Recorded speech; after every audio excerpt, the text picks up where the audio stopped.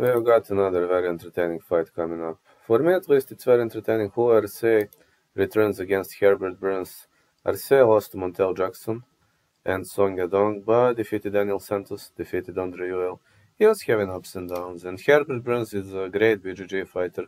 Alright, he scored a knockout victory in his UFC debut. He's 5'9", 74 inches of reach, fighting out of Singapore at the moment, but one funny thing here is uh, the fact that Herbert Burns is actually a BJJ fighter who scored a multi knockout victory against Nate Landwehr, choked out Evan Dunham, but he's on a back to back losing streak to Daniel Pineda and Bilal Gale.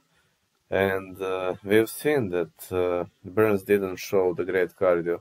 He's extremely dangerous in the first round, but he slows down as fight advances into later rounds and uh, if he's unable to choke you out, then uh, it will be a problem, you know. And if he is unable to finish, it happened the same against Movlid Khaybulaev and Magomed Idrisov. But he dominated, for example, against uh, Timofey Nastyukhin, Honorio Banario.